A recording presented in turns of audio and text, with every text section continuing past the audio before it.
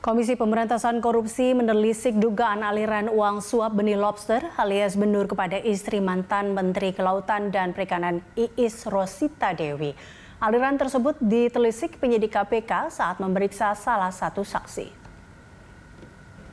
KPK menegaskan uang tersebut diduga diterima Iis Rosita Dewi dari Edi Prabowo dan sekretaris pribadinya Amiril Mukminin.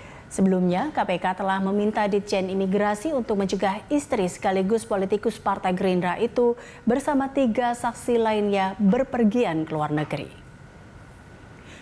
PLT juru bicara KPK Ali Fikri menyebutkan peran Iis Rosita Dewi dalam dugaan suap Edi Prabowo masih dalam proses pendalaman dengan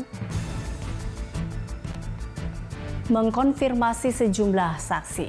Dugaan sementara ada penyerahan sejumlah uang yang diterima Iis Rosita Dewi melalui saksi yang tengah diperiksa.